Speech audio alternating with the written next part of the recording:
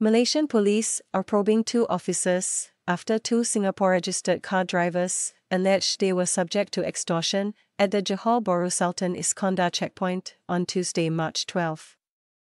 In a media statement on Thursday, the head of Johor Bahru Police said the two officers were being investigated after posts by two Facebook users over the incident. In a post on the Facebook group My SG Road Trip, Your Malaysia Road Trip Guide, user Irene Teo said that she was crossing from Johor Bahru to Singapore when a Malaysian policeman ushered her into a lane used by lorries. Miss Teo said she followed another Singapore registered car to a deserted side road beside the customs checkpoint, where only two other cars could be seen.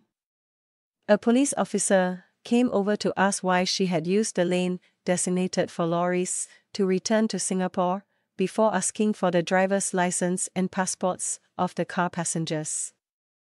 Miss Teo alleged that the officer said that he would help them get back to the correct car lane leading to the immigration checkpoint in return for RM 600 171 Singapore dollars.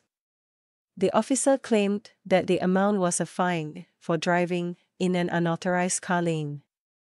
Ms. Teo said the officer told her that if she failed to pay up, she would have to lodge a report and pay the fine at the immigration office, where their personal particulars would be logged into the system. She wrote that she insisted on going to the office to pay the fine, but the officer simply ignored her, adding that he was still holding on to one of the passengers' passports. Eventually, however, Ms. Teo agreed to pay him RM 500 before the officer led the vehicle back to the correct car lane. Ms. Teo did not give her nationality, but she is reportedly Singaporean. In a separate post on the same page, another user Sage uploaded two dashcam footage videos of the incident, claiming to have been in the car in front of Miss Teo's.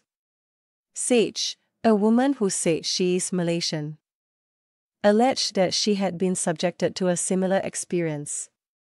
In one video, a police officer can be seen shining a torchlight at Sage's car and directing it toward the lorry lane. The next clip then showed two police officers speaking to the driver in the car in front of them before asking for the passenger's documents. Sage said that after a long argument, she had managed to pay RM 100 in order to get her boyfriend's license back from the police, who had taken possession of it. No recordings of the extortion were seen in the video. Today has reached out to both the Facebook users for more information.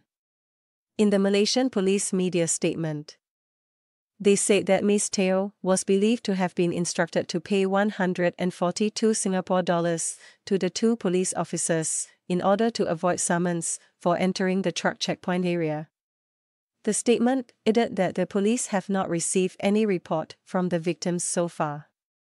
It added that an official request has been made to the Singapore Consulate Office in Johor Bahru for help in tracking down Ms. Teo and Sage to assist with investigations today has reached out to the Malaysian police for more information.